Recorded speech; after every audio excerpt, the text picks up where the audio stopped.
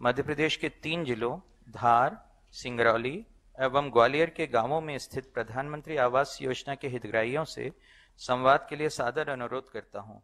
सर्वप्रथम धार ज़िले के सरदारपुर जनपद के ग्राम पंचायत अमछेरा के आदिवासी हितग्राही श्री गुलाब सिंह को माननीय प्रधानमंत्री जी से संवाद के लिए आमंत्रित करता हूँ।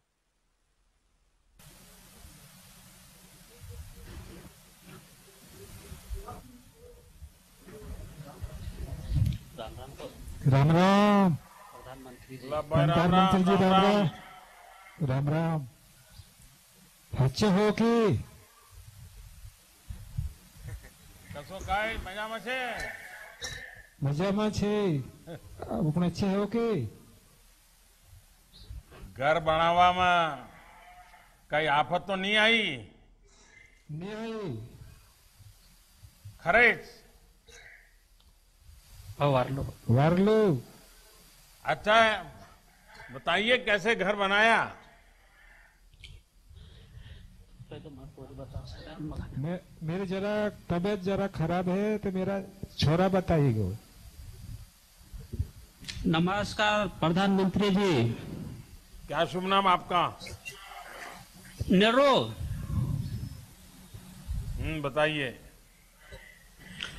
अभी तो सर हमारे गाँव और सरदारपुर तहसील और जिला के सभी गरीब और भाई बहनों के ओर से हम सभी शुभकामना देते हैं जो हमारे गरीब भाई को मकान मिले हैं। उसके सबको तरफ़ से मैं शुभकामनाएँ देता हूँ। और जो हमारा मकान बना है, हलमा करके उसमें हमारे गरीब भाई सभी सहयोग करते हैं। तो उसमें मजदूरी हमारे को नहीं देनी पड़ती है, सिर्फ़ सहयोग करते हैं, ताकि हमारा गरीब भाई का मकान अच्छा बने और जो मजदूरी के पैसे बचे उससे कुछ अच्छे और सामान ला सके। और जो उसमें हमारे भाई जो मिस्त्री है उन्होंने भी बहुत हमारा सहयोग करा ताकि हमारे भाई की जो मजदूरी होती है मिस्त्री की वो ज़्यादा देना पड़ती है तो उससे ताकि और अच्छा सामान लाके और अच्छा मकान बना सकता है आदमी। नहीं ये ये हलमा की परंपरा सिर्फ़ आपके गाँव में है कि अगल बगल के गाँव में भी है? सभी जैसे कोई आदिवासी कोई अच्छे से करते हैं कोई थोड़े कम करते हैं और हमारे जो हमारा गाँव है थोड़ा परिवार जुड़ा हुआ है हमारा तो अच्छे से करते हैं। तो कितने लोग ये हलमा में आपके गाँव के कितने लोग आपके साथ जुड़े थे? बीस कभी रोज बीस आ जाते हैं कभी रोज पंद्रह भी आते हैं। लेकिन उन सबको काम आता था क्या? काम आप सिख बताते थे या कौन सिखाता था उनको काम? जानते थे काम घर बनाने का? जो मिस्त्री हमारे भाई थे वो तो सीखे हुए थे तो जो लॉकडाउन में बंद था तो सभी घर पे ही थे। और जो मजदूर आदमी थे हमारे भाई और बहनों वो भी घर पर ही थे। और उनको कोई पैसा नहीं देना पड़ता है। कोई पैसे नहीं वो सिर्फ़ शाम को हम उनको खाना खिलाते हैं। तो खाना में क्या मुर्गा खिलाते हैं क्या? नहीं हम वो क्या है कि खिचड़ी बनाते हैं या फिर मक्का की रोटी और अच्छी सी दाल बनाते हैं बढ़िया। और प्याज व्याज काट के ने बढ़िया से खिलाते हैं शाम को। अच्छा आप वही खिलाते हैं जो दाहोद वाले खिलाते हैं। जी। चलिए देखिए बहुत अच्छी बात आपने बताई कि कैसा बढ़िया रीति रिवाज है कि गाँव के सब लोग मिलकर के जब भी किसी का घर बनता है तो उस काम में सब जुड़ जाते हैं। और बहुत ही कम खर्च में सबकी टैलेंट का उपयोग करते हुए अच्छे से अच्छा घर बन जाता है।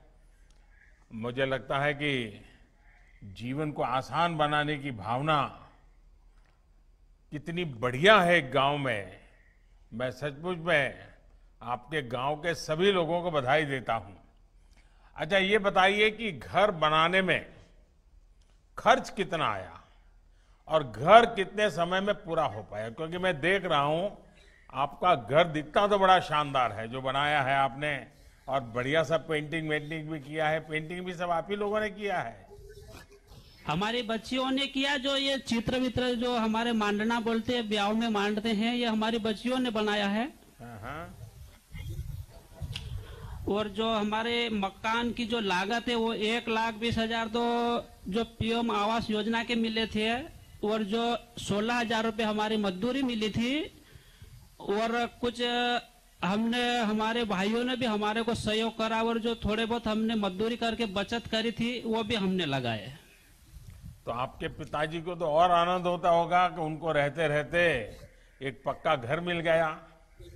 बहुत आनंद वो क्या अभी दो दिन से मिलने के खुशी में दो दिन से थोड़ी तबीयत डाउन हो गई वो इतने सह नहीं पा रहे कि जब हमारे देश के इतने जोरदार प्रधानमंत्री जब हमारे को संबोधित करेंगे तो मैं खुशी वो रोक नहीं पाए, इसलिए थोड़ी तबीयत उनकी डाउन हो गई है। कई बात आप हमें आशीर्वाद दे दीजिए। आपके शब्द नहीं होंगे, लेकिन आपके आशीर्वाद हमारे लिए बहुत बड़ी पूंजी है। गुलाब सिंह जी, आपको नए घर की बहुत बहुत मेरी बधाई है और आपके सं... आँखों के सामने आपको दूसरी, तीसरी पीढ़ी आप देखते होंगे घर में। सबके लिए पक्का घर होना ये आपके लिए तो सबसे बड़ी खुशी की बात होगी। आपने सरकारी योजना और सामाजिक तालमेल की बेहतरीन मिसाल हमारे सामने रखी है। आपके समाज, आपके गाँव वालों को भी इस समृद्ध परंपरा के लिए मेरी तरफ़ से बहुत बहुत साधुवाद। और यही कारण है कि आपका घर बहुत कम खर्च में और बहुत कम समय में बनकर तैयार भी हो गया। सरकार ने भी गरीबों के आवास की इस योजना में एक प्रकार से इसी रीति का ही समावेश किया है। सरकार की अनेक योजनाओं को, जैसे मनरेगा, सौभाग्य, उज्ज्वला, स्वच्छ भारत, ऐसी अनेक योजनाओं को गरीब के घर के साथ जोड़ दिया है, ताकि सबकी ताकत से गरीब का सपना पूरा हो जाए। तो मेरी तरफ़ से आपको बहुत बहुत शुभकामनाएँ हैं, आपके गाँव वालों को बहुत शुभकामनाएँ हैं, और मेरी तरफ़ से विशेष बधाई है, आपने बहुत बढ़िया तरीके से घर बनाया है। बहुत बधाई देता हूँ मैं आपको। धन्यवाद अब मैं सिंगरौली ज़िले के बैढन जनपद के ग्राम पंचायत गडेरिया के हितग्राही श्री प्यारेलाल यादव को माननीय प्रधानमंत्री जी से संवाद के लिए आमंत्रित करता हूँ।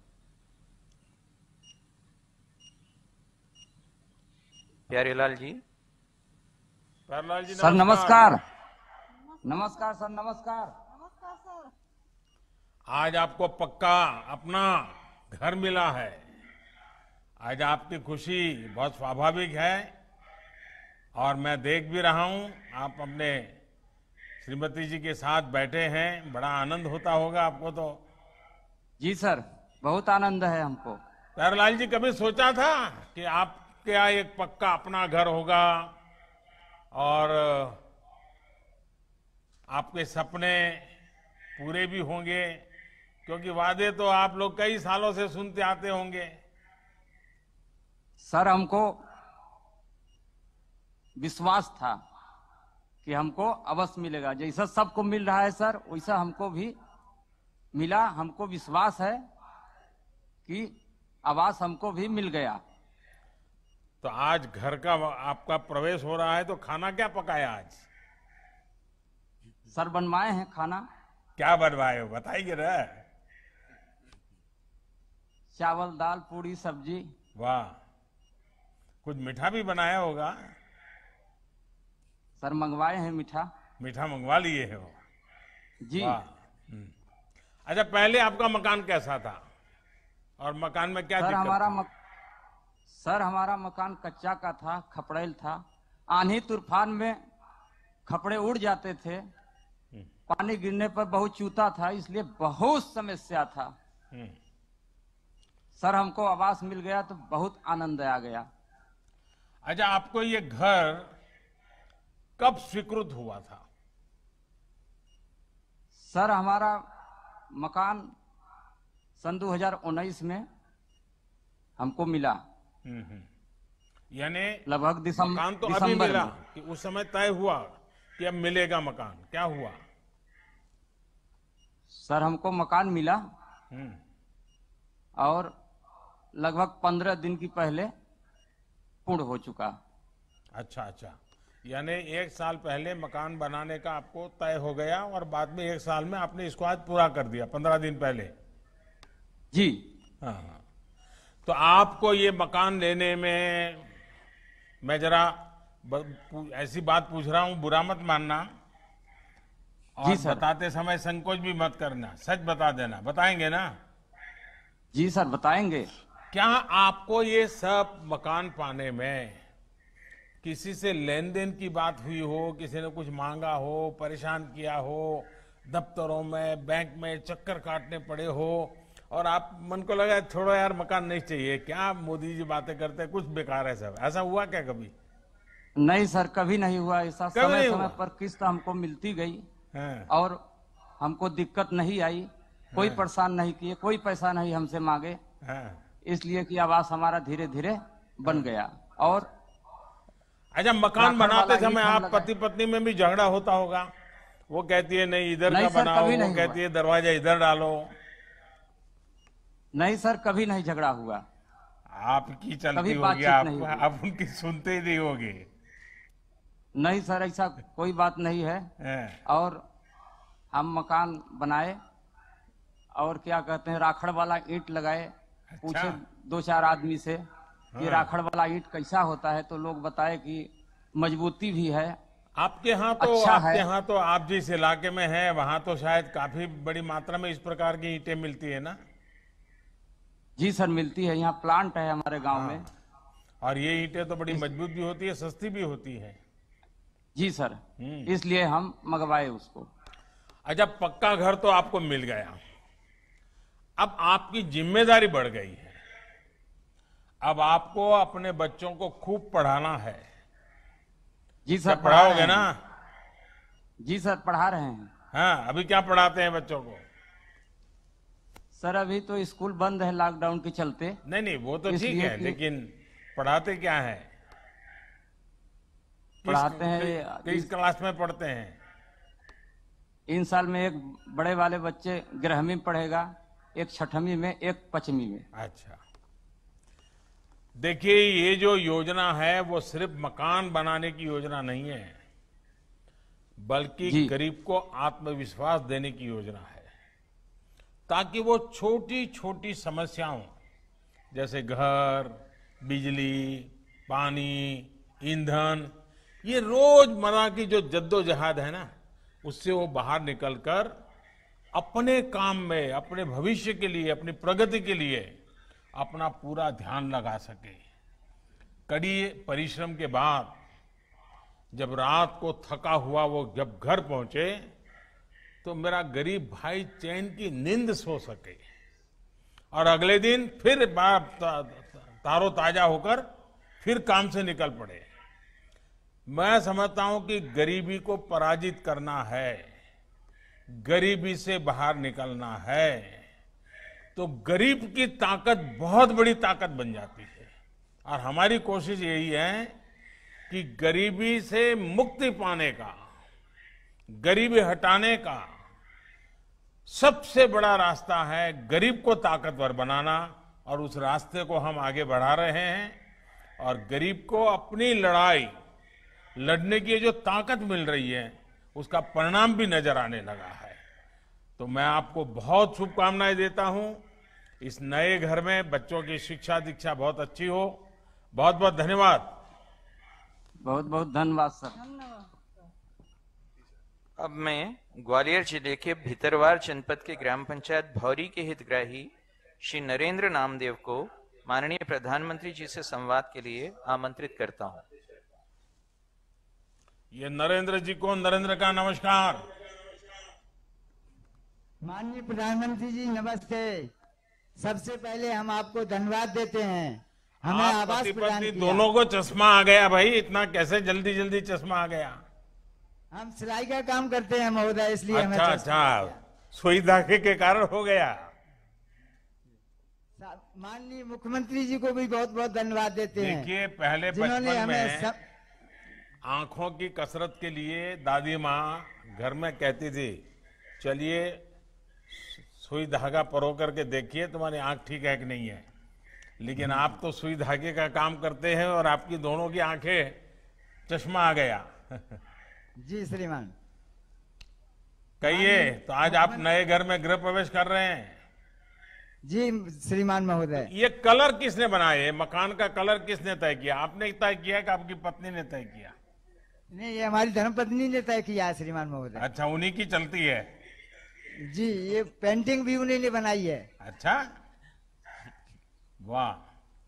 अच्छा परिवार में आस पड़ोस और रिश्ते नाते में इस नया मकान मिला मिला है तो क्या लग रहा है सबका? कैसा माहौल है? आज पक्का आवास मिलने से श्रीमान मुझे बहुत लाभ हुआ है। आज मेरी समाज में प्रतिष्ठा बढ़ी है। कच्चा मकान होने से मेरी बेटी की सर्प के काटने से मृत्यु हो गई माननीय। चौबीस दिन के बाद मेरे क्या हुआ था नरेंद्र जी? क्या हुआ कच्चे मकान में कच्चे मकान में श्रीमान महोदय मेरी बच्ची की सर्प के काटने से मृत्यु हो गई। चौबीस दिन के अंतराल में मेरे बेटे की मृत्यु हो गई। हमारे ऊपर दुखों का पहाड़ टूटा श्रीमान महोदय। कुछ समय के बाद शासन के संबल से मुझे समरने का अवसर मिला। हम्म, हम्म। आ- आवास के साथ समृद्ध पर्यावास की 19 योजनाओं के माध्यम से मुझे उभरने का अवसर मिला। माननीय महोदय मैं सिलाई का काम जानता हूँ। कुछ ज़मीन का भी टुकड़ा है मेरे पास। एक भैंस भी रखता हूँ। माननीय महोदय से जो आप देश की सेवा के लिए समर्पित हैं चाहे वो 370 हो या तीन तलाक हो या आवास के माध्यम से गरीब जनते जनता का सहयोग हो। तो नरेंद्र जी नरेंद्र जी क्या चुनाव जी। उनाव लड़ने का इरादा है क्या? नहीं सर नहीं सर। तो आप इतनी सारी बातें आप- बोल रहे हो। सकता हूँ। देखिए वही तो मैं ज्योतिरादित्य जी ने सुन लिया है सारा। नहीं सर सुनने की बात नहीं है ये। ये कहने की बात है सर। है। कह, मेरी पद और मेरा आपसे निवेदन है आग्रह है माननी मेरी धर्मपत्नी से भी ज़रूर बात ज़रूर ज़रूर बताइए क्या शुभ नाम है आपका? माननीय प्रधानमंत्री जी नमस्ते। सबसे पहले हम आपको आशीर्वाद देते हैं। धन्यवाद। धन्यवाद जी धन्यवाद। धन्यवाद। हाँ। धन्यवाद हमें हमें माताओं के आशीर्वाद हमारी सबसे बड़ी शक्ति है। और इसलिए आपने सही कहा ये आपके पति जो कह रहे हैं वो गलत कह रहे धन्यवाद हैं। देते हैं धन्यवाद। हर माता का आशीर्वाद मेरी बहुत बड़ी पूंजी है। निवेदन है। आपने मेरे को गैस उज्ज्वला के साथ गैस दी है। मेरे को किचन बना है मेरे को शौचालय भी दिया है मेरा आग्रह है आपसे निवेदन है बहुत ज़्यादा। मेरे घर पे आमंत्रित आए और मेरे हाथ की चाय और पोहे खाएँ और आप आमंत्रित स्वीकार करने का आप मेरे को हाँ या ना में जवाब दें। चलिए आपका निमंत्रण मेरी सर आँखों पर और मुझे मैं भी ईश्वर से प्रार्थना करूँगा कि आपके हाथ से भोजन प्राप्त करूँ और ये मौका मेरे नसीब में आ जाए। मेरे लिए वो सबसे खुशी का दिन होगा। हमको भी इतना धन्य होगा कि हमारा जीवन सफल हो जाएगा। आज मेरा शायद मुझे माननीय महोदय जो मुझे गम प्रकृति ने दिया मैं समझ नहीं पा रहा हूँ वो गम बड़ा था आज मुझे खुशी बड़ी है। वाह। मुझे बताया गया है कि इस घर के स्वीकृति पत्र में आपकी पत्नी का भी नाम है और आपका भी नाम। है जी महोदय।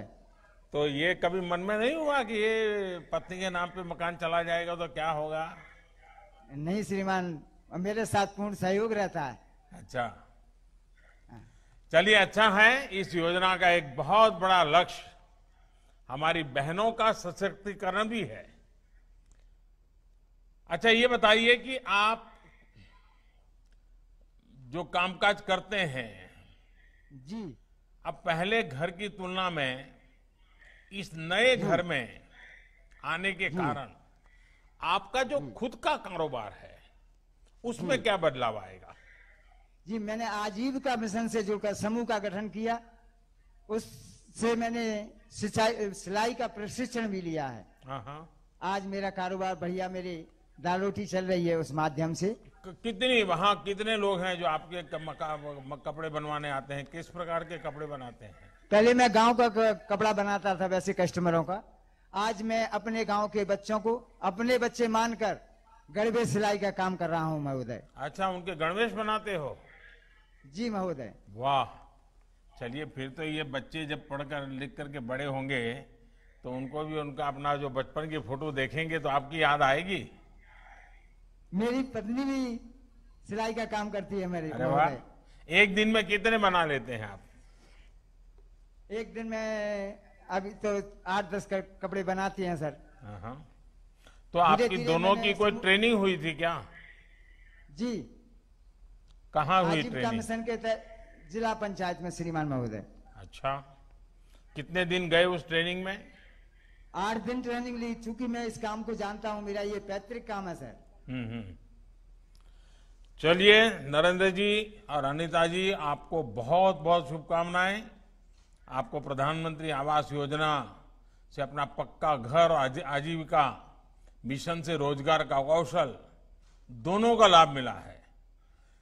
केंद्र सरकार और मध्य प्रदेश सरकार दोनों का यही लक्ष्य है कि सरकार की सभी योजनाओं का लाभ सभी गरीब से गरीब परिवार तक पहुँचे, ताकि हमारा गाँव और हमारा गरीब भी आत्मनिर्भर बने और देश भी आत्मनिर्भर बन सके।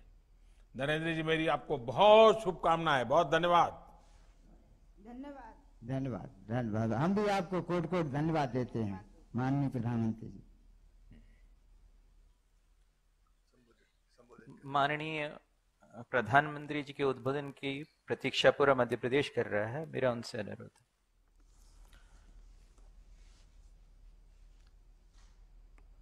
अभी मुझे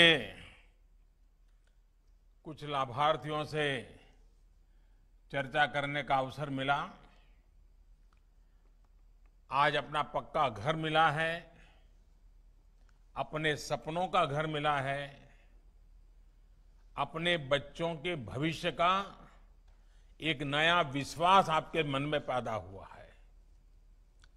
अब मध्य प्रदेश के पौने दो लाख ऐसे परिवार जो आज अपने घर में प्रवेश कर रहे हैं, जिनका गृह प्रवेश हो रहा है, उन सभी को मैं आज बहुत बहुत बधाई देता हूँ, शुभकामनाएँ देता हूँ। ये सभी साथी टेक्नोलॉजी के किसी न किसी माध्यम से पूरे मध्य प्रदेश में इस कार्यक्रम से जुड़े हैं। आज आप देश के उन सवा दो करोड़ परिवारों में शामिल हो गए हैं, जिन्हें बीते छह वर्षों में अपना घर मिला है, जो अब किराए के नहीं, झुग्गियों में नहीं, कच्चे मकान में नहीं, अपने घर में रह रहे हैं, पक्के घर में रह रहे हैं। साथियों इस बार आप सभी की दिवाली, आप सभी के त्योहारों की खुशियाँ ज़रूर कुछ ज़्यादा ही होगी। कोरोना काल ही के कारण और अगर ये स्थिति न होती तो आज आपके जीवन की इतनी बड़ी खुशी में शामिल होने के लिए आपके घर का एक सदस्य ऐसा ही आपका प्रधान सेवक आज मध्य प्रदेश में होता, आपके बीच होता और आपके इस आनंद उत्सव में भागीदार होता। लेकिन कोरोना की जो स्थिति है, उसके कारण मुझे दूर से ही आज आप सबके दर्शन का अवसर मिल रहा है। आज के इस समारंभ में मध्य प्रदेश की गवर्नर श्रीमती आनंदीबेन राज्य के मुख्यमंत्री भाई शिवराज जी, केंद्र में मंत्रिपरिषद के मेरे सहयोगी नरेंद्र सिंह जी, मेरे साथी भाई ज्योतिन्द्र जी, ज्योतिरादित्य जी, मध्य प्रदेश के मंत्रिमंत्री मंत्रीगण के सदस्य, सांसद और विधायकगण ग्राम पंचायतों के प्रतिनिधिगण और मध्य प्रदेश के गाँव गाँव से जुड़े सभी मेरे प्यारे भाइयों और बहनों, आज मध्य प्रदेश में सामूहिक गृह प्रवेश का ये समारोह पौने दो लाख गरीब परिवारों के लिए तो अपने जीवन का यादगार पल है ही। देश के हर बेघर को अपना पक्का घर देने के लिए भी एक बड़ा कदम है। आज का ये कार्यक्रम मध्य प्रदेश सहित देश के सभी बेघर साथियों को एक विश्वास देने वाला भी पल है। जिनका अब तक घर नहीं, एक दिन उनका भी घर बनेगा। उनका भी सपना पूरा होगा। साथियों, आज का ये दिन करोड़ों देशवासियों के उस विश्वास को भी मज़बूत करता है कि सही नियत से बनाई गई सरकारी योजनाएँ साकार भी होती हैं और उनके लाभार्थियों तक पहुँचती भी है। जिन साथियों को आज अपना घर मिला है, जिनसे मेरी बातचीत हुई है और जिनको मैं स्क्रीन पर देख पा रहा हूँ, उनके भीतर के संतोष, उनके आत्मविश्वास को मैं अनुभव कर सकता हूँ। मैं आप सभी साथियों से यही कहूँगा कि ये घर आपके बेहतर भविष्य का नया आधार है। यहाँ से आप अपने नए जीवन की नई शुरुआत कीजिए। अपने बच्चों को, अपने परिवार को अब आप नई ऊंचाइयों पर लेकर जाइए। आप आगे बढ़ेंगे तो देश भी आगे बढ़ेगा। साथियों, कोरोना के काल में तमाम रुकावटों के बीच भी देश भर में प्रधानमंत्री आवास योजना के तहत 18 लाख घरों का काम पूरा किया गया है। उसमें एक लाख पचहत्तर हज़ार घर अकेले मध्य प्रदेश में ही पूरे किए गए हैं। इस दौरान जिस गति से काम हुआ है, वो भी अपने आप में एक रिकॉर्ड है। सामान्य तौर पर प्रधानमंत्री आवास योजना के तहत एक घर बनाने में औसतन सवा सौ दिन 125 दिन का समय लगता है। लेकिन अब जो मैं बताने जा रहा हूँ, वो देश के लिए, हमारे मीडिया के साथियों के लिए भी ये बहुत सकारात्मक खबर है। कोरोना के इस काल में पीएम आवास योजना के तहत घरों को बनाने में सवा सौ दिन नहीं, सिर्फ़ 45 से 60 दिन में ही बनाकर तैयार कर दिया गया है। आपदा को अवसर में बदलने का ये बहुत ही उत्तम उदाहरण है। आप सोचेंगे कि ये कैसे संभव हुआ? पहले सवा सौ दिन, अब 40 से 60 दिन के बीच में कैसे हुआ? साथियों, इस तेज़ी में बहुत बड़ा योगदान रहा शहरों से जो हमारे श्रमिक भाई बहन लौटे हैं। उनके पास हुनर भी था इच्छा शक्ति भी थी, और वो इसमें जुड़ गए, और इसके कारण ये परिणाम मिला है। हमारे इन साथियों ने प्रधानमंत्री गरीब कल्याण रोज़गार अभियान का पूरा लाभ उठाते हुए अपने परिवार को संभाला और साथ साथ अपने गरीब भाई बहनों के लिए घर भी तैयार करके दे दिए। मुझे संतोष है कि पीएम गरीब कल्याण अभियान से मध्य प्रदेश सहित देश के अनेक राज्यों में करीब करीब तेईस हज़ार करोड़ रुपए के काम पूरे किए जा चुके हैं। इस अभियान के तहत गाँव गाँव में गरीबों के लिए घर तो बन ही रहे हैं, हर घर जल पहुँचाने का काम हो, आंगनवाड़ी और पंचायत के भवनों का निर्माण हो, पशुओं के लिए शेड बनाना हो तालाब और कुएँ बनाना हो, ग्रामीण सड़कों का काम हो, गाँव के विकास से जुड़े ऐसे अनेक काम तेज़ी से किए गए हैं। इससे दो फ़ायदे हुए हैं। एक तो शहरों से गाँव लौटे लाखों श्रमिक साथियों को रोज़गार उपलब्ध हुआ है और दूसरा ईंट, सीमेंट, रेत और निर्माण से जुड़े दूसरे सामान का व्यापार कारोबार करते हैं, उनकी भी बिक्री हुई है। एक प्रकार से प्रधानमंत्री गरीब कल्याण रोज़गार अभियान इस मुश्किल समय में गाँव की अर्थव्यवस्था का भी बहुत बड़ा सहारा बनकर के उभरा है। इसे बहुत बड़ी ताकत प्रधानमंत्री आवास योजना के तहत हो रहे कार्यों से मिल रही है। साथियों, मुझसे कई बार लोग पूछते हैं कि आखिर घर तो देश में पहले भी बनते थे, सरकार की योजनाओं के तहत बनते थे, फिर आपने बदलाव क्या किया? ये सही है कि गरीबों के लिए घर बनाने के लिए देश में दशकों पहले से योजनाएँ चली आ रही है, बल्कि आज़ादी के बाद के पहले दशक से ही सामूहिक सामूहिक विकास कार्यक्रम के तहत ये काम शुरू हो गया था।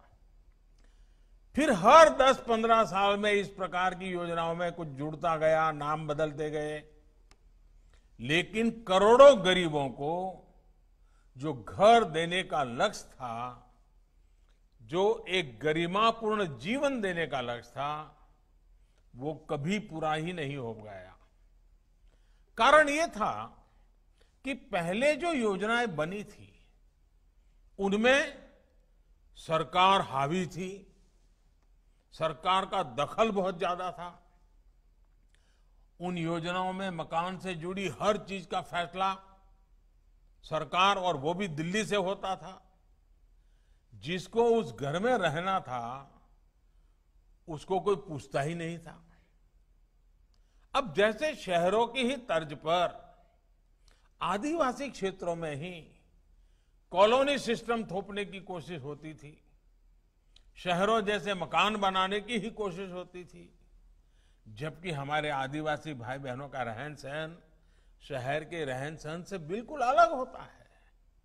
उनकी जरूरतें अलग होती है। इसलिए सरकार के बनाए घरों में उनको वो अपनापन कभी नहीं लगता था। इतना ही नहीं, पहले की योजनाओं में पारदर्शिता की भी भारी कमी थी। कई तरह की गड़बड़ियाँ भी होती थी। मैं उनके विस्तार में नहीं जाना चाहता। इसलिए उन घरों की क्वालिटी भी बहुत खराब होती ऊपर से बिजली, पानी जैसी मूल जरूरतों के लिए लाभार्थी को सरकारी दफ्तरों के चक्कर अलग से काटने पड़ते थे। इन सबका नतीजा ये होता था कि उन योजनाओं के तहत जो घर बनते भी थे, उनमें जल्दी लोग शिफ्ट ही नहीं होते थे। उनमें गृह प्रवेश नहीं हो पाता था। साथियों 2014 में हमने जब से कार्य संभाला, इन पुराने अनुभवों का अध्ययन करके पहले पुरानी योजना में सुधार किया गया और फिर प्रधानमंत्री आवास योजना के रूप में बिल्कुल नई सोच के साथ योजना लागू की गई। इसमें लाभार्थी के चयन से लेकर गृह प्रवेश तक पारदर्शिता को प्राथमिकता दी गई। पहले गरीब सरकार के पीछे दौड़ता था सिफारिश के लिए ढूंढता था लोगों को। आज हमारी योजना ऐसी है कि सरकार को लोगों के पास जाना होता है, खोजना होता है और सुविधा देनी होती है। अब किसी की इच्छा के अनुसार लिस्ट में नाम न जोड़ा जा सकता है, न घटाया जा सकता चयन से लेकर के निर्माण तक वैज्ञानिक और पारदर्शी तरीका अपनाया जा रहा है। इतना ही नहीं, मटेरियल से लेकर के निर्माण तक स्थानीय स्तर पर उपलब्ध और उपयोग होने वाले सामानों को भी प्राथमिकता दी जा रही है। घर के डिज़ाइन भी स्थानीय जरूरतों और निर्माण शैली के मुताबिक ही तैयार और स्वीकार किए जा रहे हैं।